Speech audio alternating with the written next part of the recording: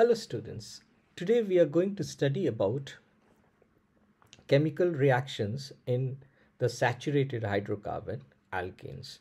The saturated hydrocarbons are unreactive and they do not react with other substance as they consist of single bond which is quite strong and they also do not show addition reaction like the unsaturated hydrocarbon. They also do not show uh, any effect of acid and bases. So let us go into uh, my iPad and study some of the chemical reactions, write down some of the chemical reactions that we observe in saturated hydrocarbon. We'll be starting with combustion and then move on to the characteristic reactions of the saturated hydrocarbon, the alkanes, the substitution reaction. We'll define them and we'll also write down some of the equations related to substitution and combustion reaction. First of all, we'll start with combustion reaction. So let's move on into the iPad. So what is combustion reaction oh, what is combustion by the way? Let's define that. See, let's make it narrow. C O M B U S T I O N. So, what is combustion? Uh, we all are aware of combustion, like we all know what burning is. So, combustion is like burning uh, and product with the production of heat and light. But here, let's define it.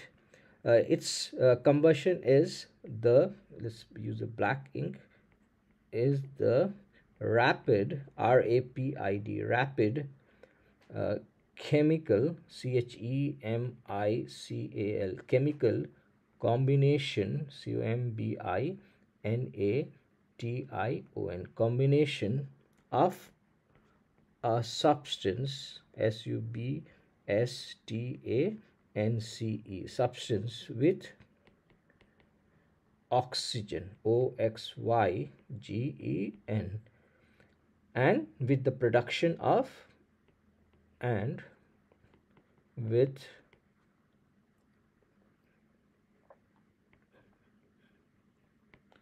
uh, with the production of P R O D U C T I O N.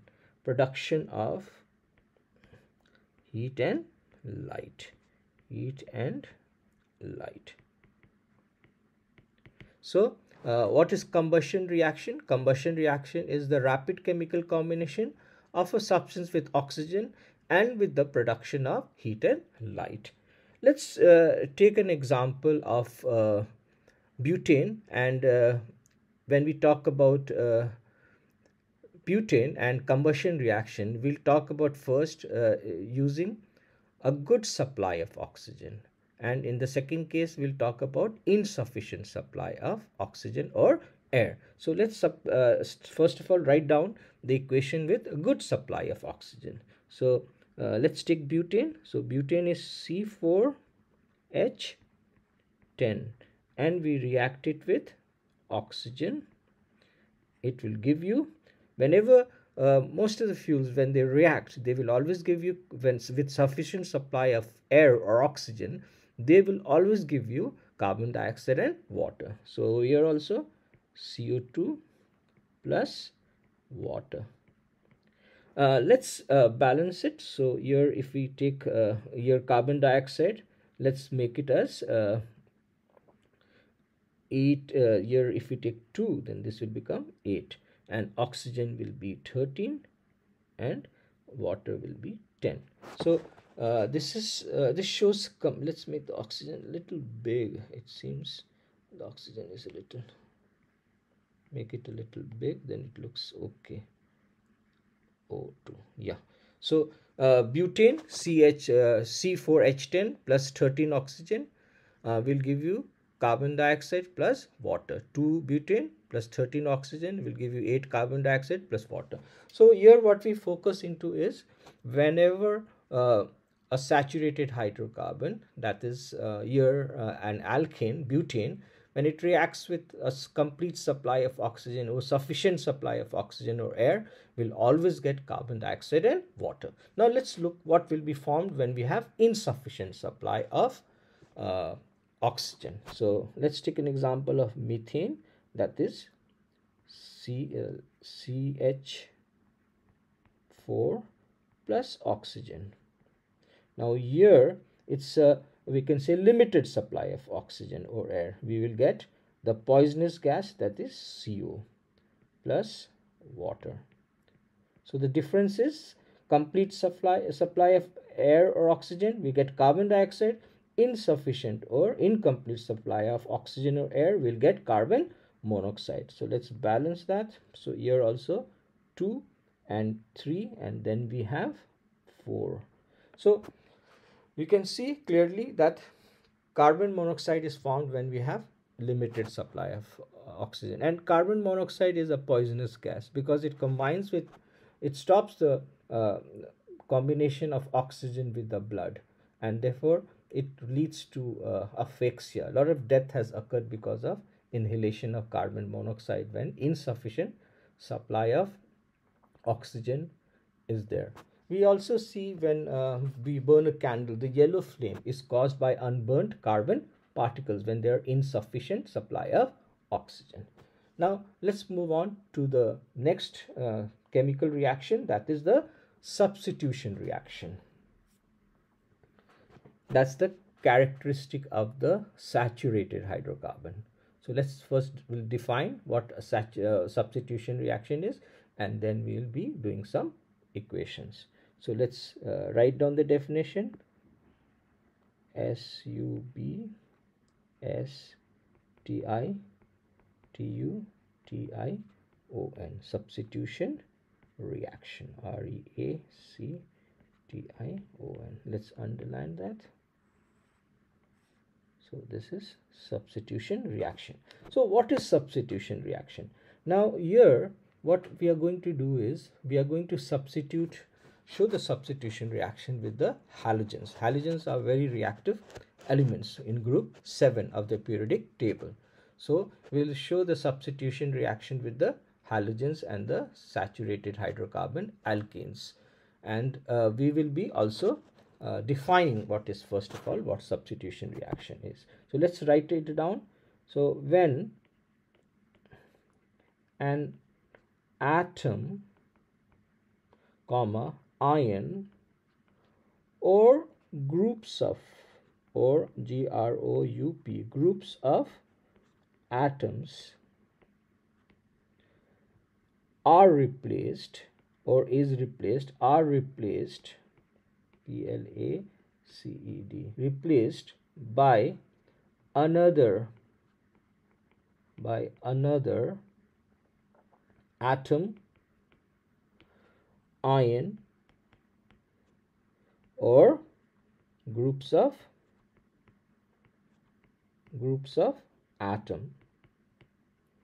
We call that as substitution reaction.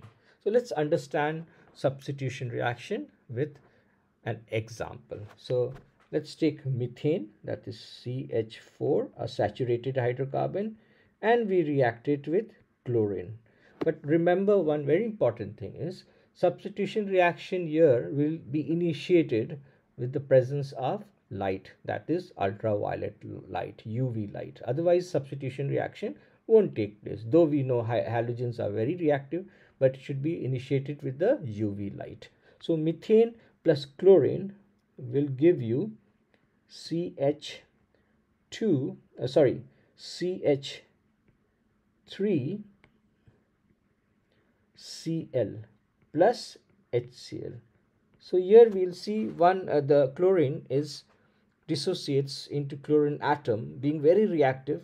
It reacts with the methane, hydrogen of the methane and will substitute it, will replace it and it will form uh, what we call as chloromethane. So let's write out write that down C H L O R O chloromethane M E T H ANE. So here again chlorine replaces hydrogen and forms chloromethane.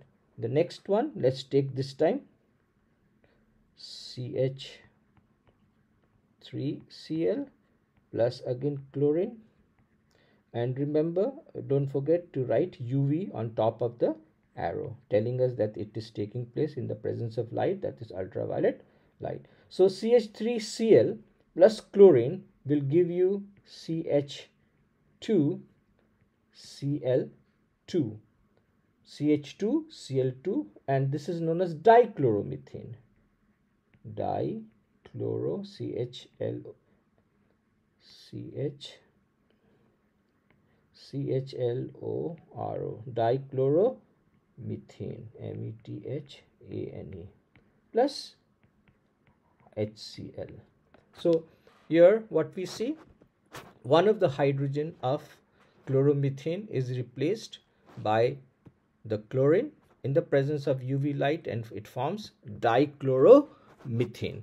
So let's move on. Let's write the further equations.